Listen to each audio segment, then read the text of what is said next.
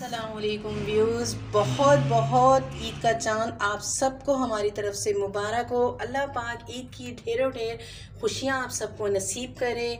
बहुत अच्छी सी ईद मनाएँ आप लोग और ईद में हमें भी याद रखिएगा। ईद हो और मीठा ना हो तो ईद नामुकम्मल रहती है। मैं आज जो बनाने जा रही हूँ ईद में, वैसे तो मुझे रिवायती मीठा पसंद है कि मैं बनाती हूँ हमेशा खीर या फिर शाही टुकड़े या शीर खुरमा, गजरेला, ये चीज़। लेकिन बच्चों ने इस दफ़ा फरमाइश की है कि ममा हमें कस्टर्ड सिवैयाँ चाहिए, आप वो बनाइएगा, हम वो खाएँगे ईद पर। तो मैं बनाने लगी हूँ कस्टर्ड सिवैयाँ। मैं बना बना रही हूँ ऑलपर्स दूध में, ताकि इसे ज़्यादा पकाना नहीं पड़ता। ऑलपर्स में मैं बना रही हूँ इन्हें। मैंने लिया है साढ़े चार किलो दूध। मैं बारी बारी करके ये पतीली में डालूँगी। ये देखें, ये मैं पर इसमें डाल रही हूँ, मैं ले रही हूँ साढ़े चार किलो दूध, क्योंकि हमारे यहाँ मेहमान भी आ जाते हैं और सबके ही आते हैं ईद पर तो खैर। तो इसलिए ये है कि उसमें भी इन ये काम आ जाएगा मेहमानों के सर्व करने के लिए। अब बस भाग दौड़ मच गई है जल्दी जल्दी जो है सारे काम निपटाने हैं। मैं ये सारा दूध आहिस्ता आहिस्ता करके पतीली में डालकर गर्म करने रख दूँगी। मैंने सारा साढ़े चार किलो के करीब इसके अंदर डाल दिया है। अब मैं इसको रख रही हूँ चूल्हे पर और मैं इसमें चीनी वगैरह कुछ नहीं डालूँगी पहले, इसको ऐसे ही उबालूँगी। बनाऊँगी मैं कस्टर्ड का इस्तेमाल करूँगी, रफ़ान कस्टर्ड, ठीक है? इसका इस्तेमाल करूँगी। सिवैयाँ जो मैं इसमें डालूँगी, ये पास्ता सिवैयों का पैकेट मैंने लिया है। पूरा एक पैकेट है, मैं इसको बॉईल करने रख रही हूँ। दूध जैसी बॉयल हो जाता है हमारा, फिर हम आपसे मिलते हैं।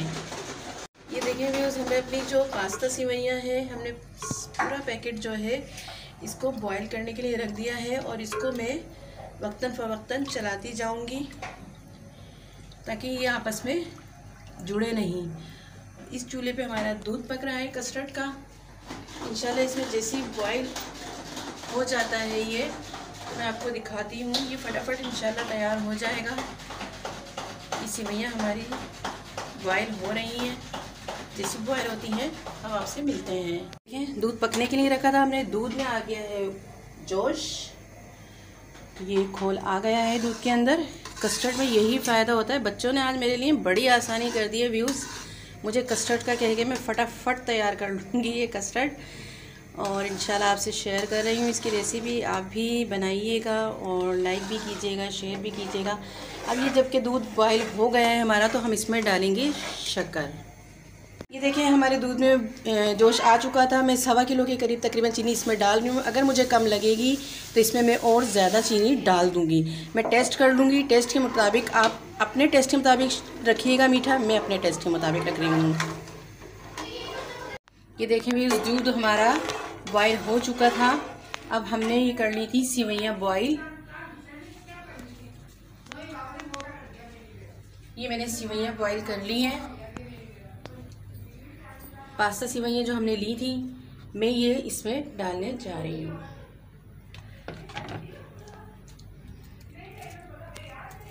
ये देखें, हमने सिवैयाँ जितनी भी बॉईल की थी, वो इसमें डाल दी हैं। मैंने बॉयल सिवैयाँ इसलिए कर ली हैं कि जो है, फिर सिवैयाँ अगर मैं डायरेक्ट दूध में पकाती तो वो ज़रा देर से भी होती हैं और दूसरा ये कि दूध भी बहुत ज़्यादा पीती हैं। तो इसलिए मैंने इनको बॉईल कर लिया है। अब मैं थोड़ी देर इनको पकाऊँगी तकरीबन 20-25 मिनट। उसके बाद मैं इसमें कस्टर्ड ऐड कर दूँगी। जब हम मिलते हैं 20 मिनट बाद। देखिए, हमने दूध के अंदर डाल दी थी सिवैयाँ और पकते हुए से मैंने आपको 20 मिनट का टाइम दिया था, लेकिन ज़्यादा टाइम हो गया इसलिए कि मेरी बेटी आज एहतिकाफ़ से उठकर आई है। माशाल्लाह माशाल्लाह, सब जो है उससे मिलने के लिए आ गए थे। तो उसमें मुझे लग गया टाइम तो अब मैं दोबारा आपके पास आ गई हूँ किचन में। अभी मेहमान रुख्सत ही हो रहे हैं, अभी गए नहीं हैं सब, लेकिन मैं अपना काम भी साथ साथ करती जा रही हूँ। मैंने चूल्हे की आँच जो है वो स्लो कर दी है और अब मैं इसमें डालूँगी। देखिए, सिवैयाँ हमारी जो है भीग चुकी हैं अच्छी तरह से। दूध के अंदर खूब अच्छी तरह से हो गई हैं। मीठा हमने इसका टेस्ट कर लिया था। अल्हम्दुलिल्लाह, हमारे घर के हिसाब से मीठा बिल्कुल सही है। अब आप जितना लेते हैं मीठा, आप उतना इस्तेमाल कर सकते हैं। कस्टर्ड मैं डाल रही हूँ, मैंने बना के रखा था कस्टर्ड।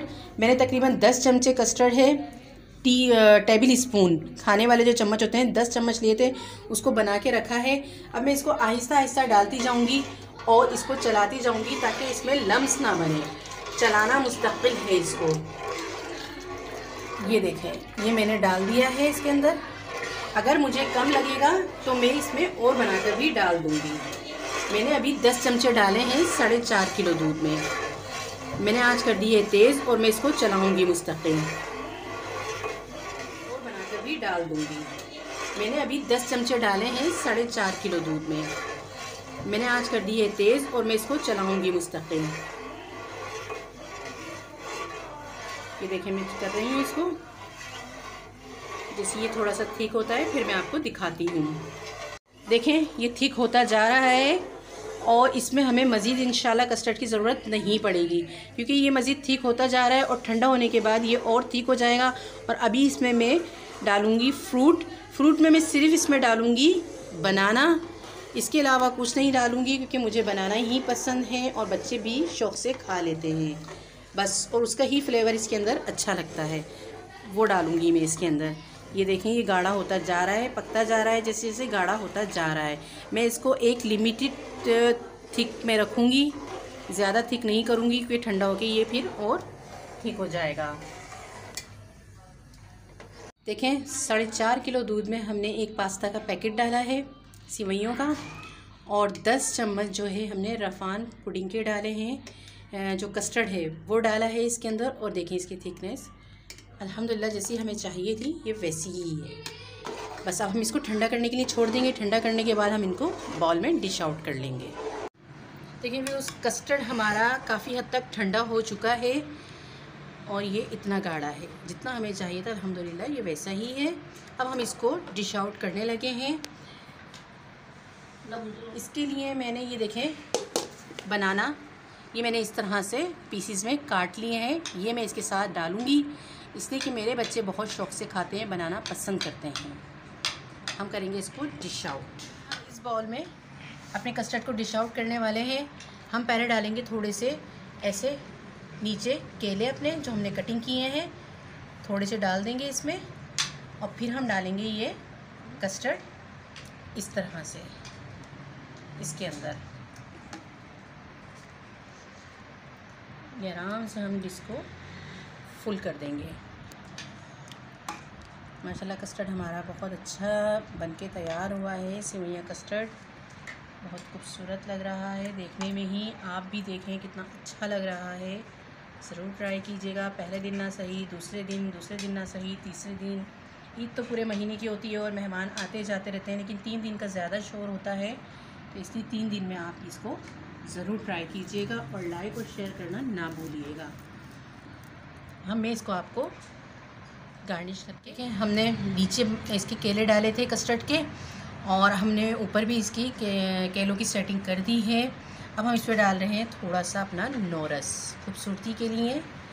हम थोड़ा थोड़ा नोरस डाल देंगे। हमने बिल्कुल सिंपल सा कस्टर्ड बनाया है। आप भी घर में ज़रा सी देर में तैयार कर सकते हैं। कोई भी मेहमान आ जाए फटाफट रेडी हो जाता है। ये देखिए। ये देखिए व्यूज़ हमारा कस्टर्ड सिंपल सा कस्टर्ड सिवैया कस्टर्ड ऑलमोस्ट रेडी है। अल्हम्दुलिल्लाह लुक देखें इसका कितना अच्छा आ रहा है। हमने कोई ऐसी चीज़ इस्तेमाल नहीं की है इसके अंदर जो बहुत ज़्यादा कॉस्टली हो। बहुत आसानी से, बहुत जल्दी ये बन जाता है। और ये देखें, हमारा बन के रेडी है। फाइनल लुक इसका देखें, कितना अच्छा है, माशाल्लाह माशाल्लाह। आप भी ज़रूर बनाइएगा लाइक और शेयर ज़रूर कीजिएगा और अपने कमेंट्स ज़रूर दीजिएगा हमें। ये ईद स्पेशल है। हम ईद के लिए स्पेशली कस्टर्ड बनाया है हमने। अल्लाह हाफिज़।